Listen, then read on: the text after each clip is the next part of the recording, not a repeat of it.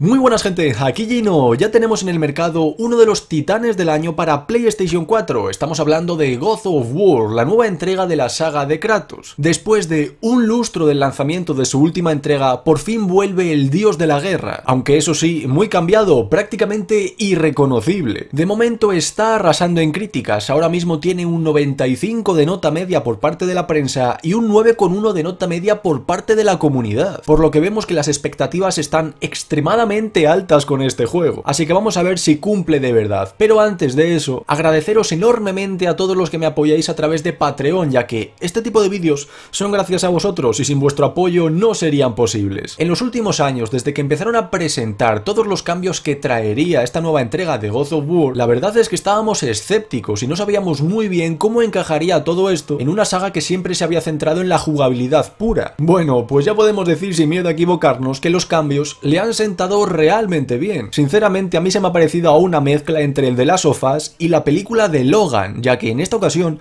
nos encontramos con un Kratos muchísimo más viejo, un Kratos que ha vivido mucho y que ha aprendido de todo ello. Por eso mismo ya no aflora de una forma tan básica la rabia y la ira que siempre habían acompañado a Kratos. Se ha vuelto más frío y calculador y sabe templar muy bien sus emociones. Sin duda vemos un cambio y un progreso enorme en el protagonista y eso hace que la historia cambia al completo. Como ya comentábamos hace una semana, estamos ante un juego muy centrado en la historia y en la narrativa de la misma. En esta ocasión nos encontramos con bastantes horas de cinemáticas y de escenas de historia, dejando un poco más de lado pues los combates y la jugabilidad. Un punto realmente importante a tener en cuenta. Al igual que tenemos un sistema de juego completamente distinto a lo habitual en la saga, se ha cambiado la cámara de posición y ahora la tenemos detrás del personaje. Ya no se puede saltar, lo que limita el combate aéreo al que estábamos y también se han cambiado las armas, al igual que la velocidad y fluidez del combate. Ahora disponemos del Leviatán, que es nuestro arma principal, una hacha imbuida con poder mágico, al igual que también tenemos un escudo que será muy importante para bloqueos y contraataques y también cobra mucha importancia nuestro hijo Atreus, que se convierte en una pieza fundamental tanto de la trama como de los combates, ya que podremos indicarle ciertos ataques que puede realizar con su arco. También tanto el hacha como Atreus serán imprescindibles para resolver los puzzles que nos vayamos encontrando, tanto los obligatorios, de historia principal obviamente, como los opcionales, aunque sí es cierto que en esta ocasión son verdaderamente sencillos y no suponen ningún reto. Todas estas armas y conceptos que acabamos de comentar se pueden ir subiendo de nivel e ir desbloqueando también nuevos ataques, tanto las armas de Kratos como de Atreus, al igual que también han metido un sistema de loteo de runas, de encantamientos y objetos en general, por lo que también podremos craftear y cambiar cambiar las vestimentas de los personajes para mejorar parámetros de ataque, defensa, magia, suerte y demás. Al empezar el juego, sí que es cierto que el combate se hace bastante tosco y lento, ya que disponemos de pocos ataques,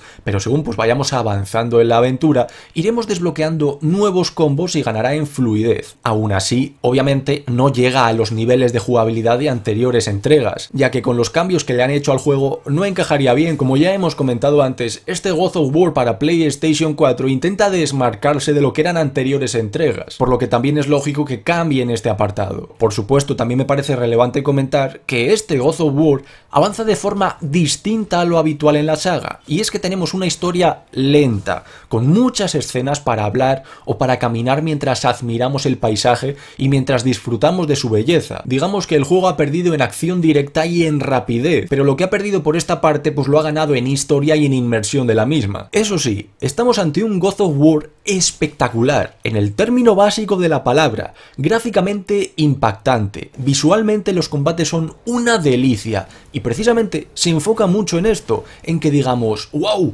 vaya pasada de enfrentamientos contra un jefe, o vaya pasada de ejecución, o mira cómo se destrozan todos los árboles al lanzar a un enemigo o cosas así. Tiene una gran cantidad de detalles de este estilo, y el juego se basa en gran medida en la espectacularidad, un sello inequívoco de la saga, por supuesto, pero esta vez muy potenciado. En muchas escenas nos recuerda a los juegos de Naughty Dog por la estética y la forma en la que ocurren. Como os digo, el juego se podría definir en una sola palabra, espectacular. Pero claro, esto también conlleva un problema importante si no se pule el juego al máximo, y es en relación a tirones y caídas de FPS. En esta ocasión, desde Sony Santa Mónica, han querido hacer dos versiones bastante diferenciadas del juego, una para la PlayStation 4 normal y otra para la PlayStation 4 Pro y es que la PlayStation PlayStation 4 básica tiene bastantes problemas de FPS, da tirones importantes en ciertas escenas o en combates muy cargados de enemigos y en muy pocos momentos el juego va a 30 FPS constantes. En relación a PlayStation 4 Pro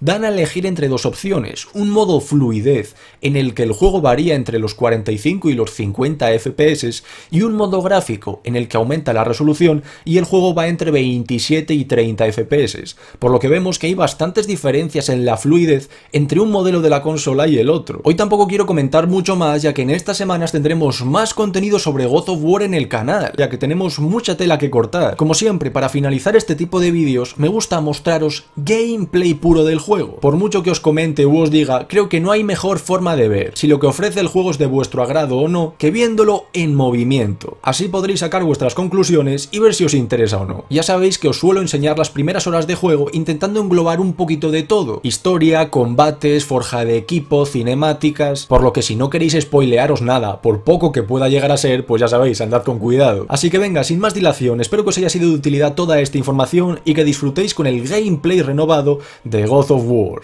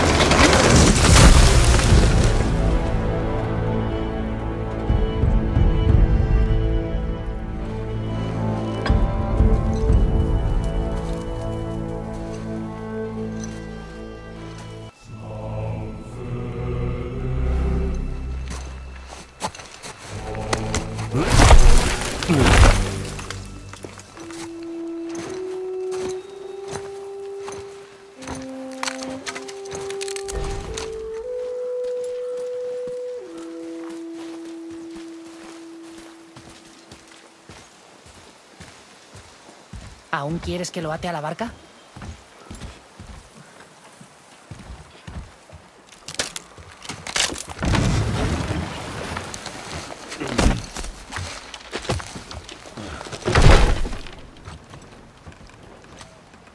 Chico.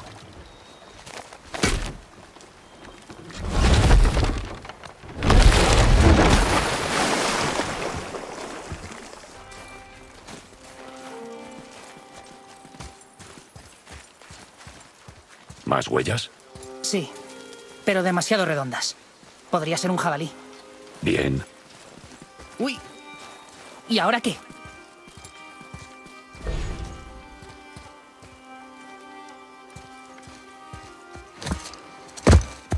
Por aquí, chico. Oh. Espera, huellas de ciervo, frescas. Por aquí.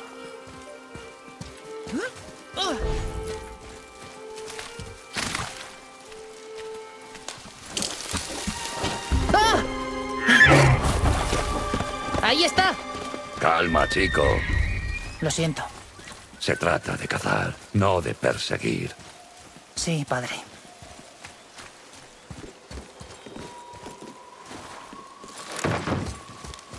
Ha destrozado el puente. ¿Cómo vamos a cruzar? Aparta.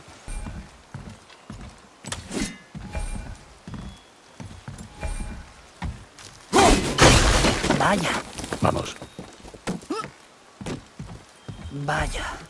¿Qué ha pasado aquí?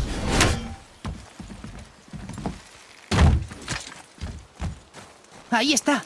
Espera. ¿Qué estás haciendo? Ahora estará alerta. No dispares. No dispares. Hasta que te diga que dispares. Lo siento. No lo sientas. Debes mejorar. Búscalo. Mm. Busca. Lo.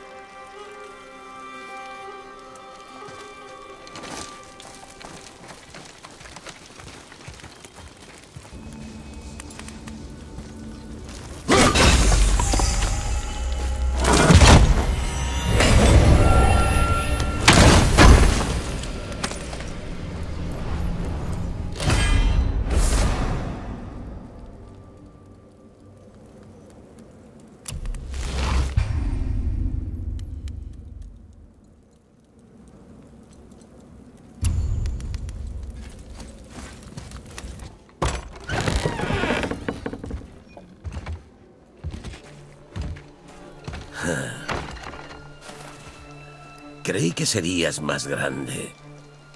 Pero sin ninguna duda eres tú. ¿Estás muy lejos de casa? ¿eh? ¿Qué quieres? Uh, ya conoces la respuesta a esa pregunta. No sé lo que buscas, pero yo no lo tengo. Deberías irte. Y yo que pensaba que los de tu clase erais más civilizados, mucho mejores que nosotros, más inteligentes. Sin embargo, tú te escondes en el bosque como un maldito cobarde. Tú no quieres que luchemos. Pues resulta que sí que quiero.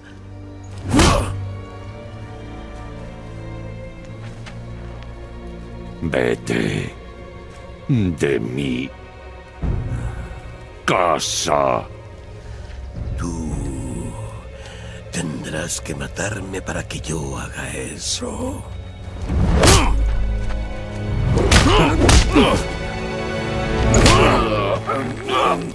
Te lo advertí. ¡Al fin!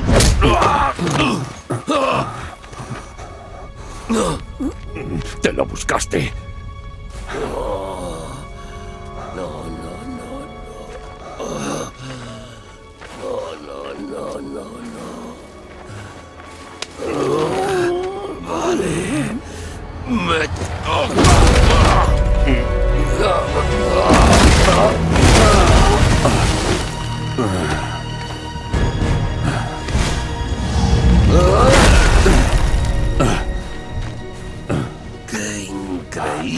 Decepción!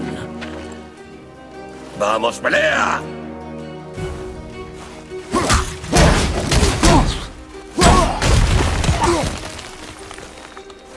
¡Inútil!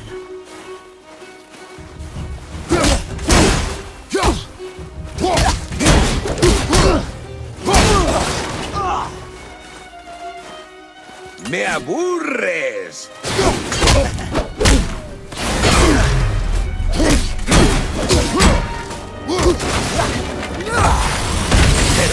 Tú te esfuerzas.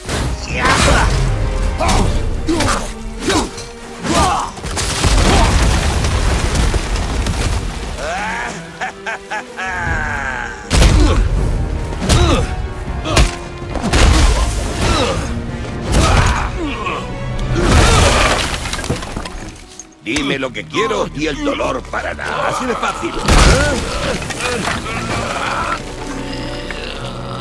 ¿Por qué hay dos caras?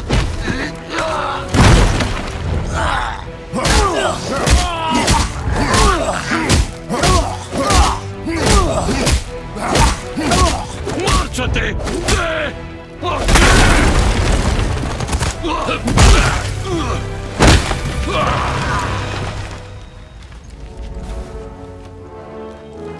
He tocado un nervio.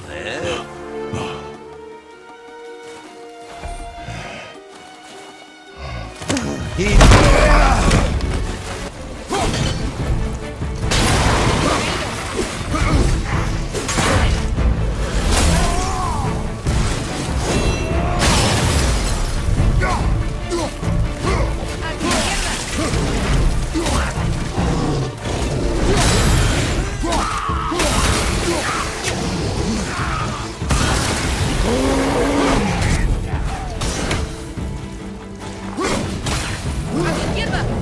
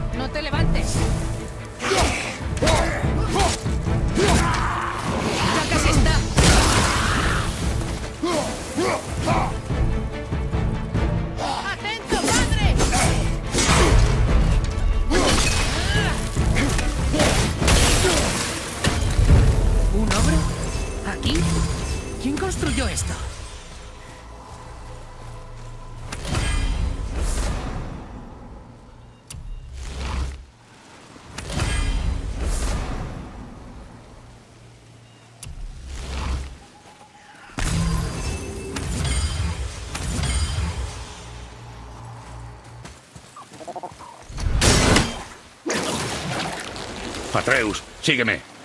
Enseguida. Está suelta.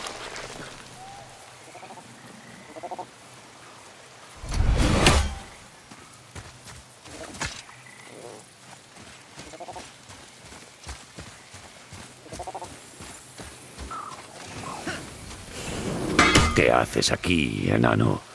Nos dijeron que nuestro camino era el único entre los reinos. Quizás sea vuestra única forma de viajar, pero los enanos somos una caja de sorpresas. Esa no es una respuesta. Ah, no pierdas nunca esa capacidad de asombro. Hay muy pocos misterios una vez que has amasado un caudal de conocimiento arcano como el mío. Encontrar recursos exóticos en los reinos, usarlos en creaciones que desafían la imaginación. Seguro que a un lego todo le parece magia. Buah. Ah, vale. Es magia. ¿Ya estás contento? Manos a la obra.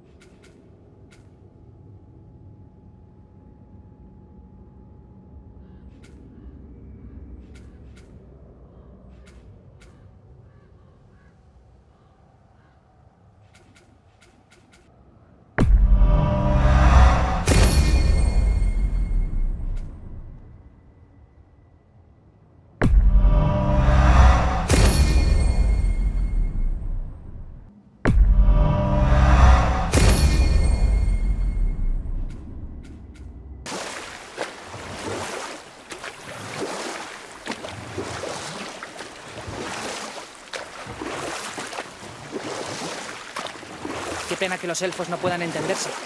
Alfheim es un lugar precioso, pero la guerra lo hace. Ves con ojos de niño. En la guerra, un soldado solo ve belleza en la sangre del enemigo. El resto de él está perdido. A veces para no volver. Tú... La puerta azul. Tiene que ser la entrada. Vamos. Con cuidado. ¿Qué hacen?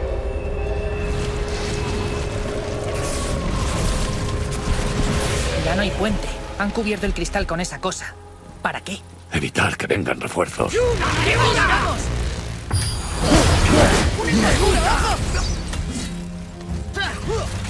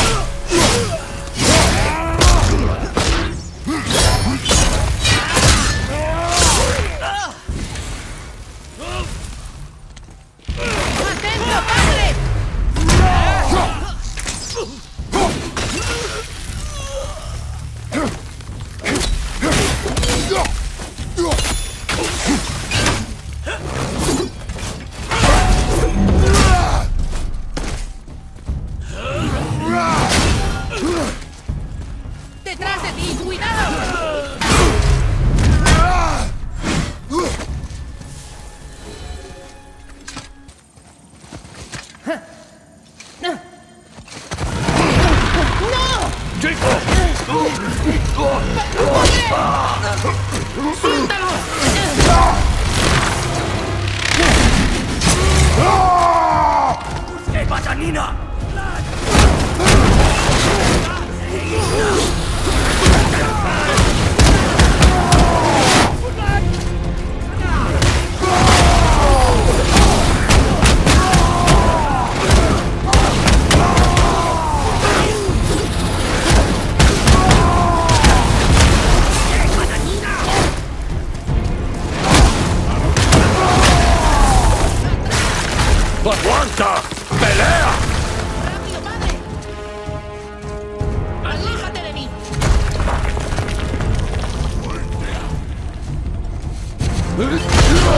Don't me them!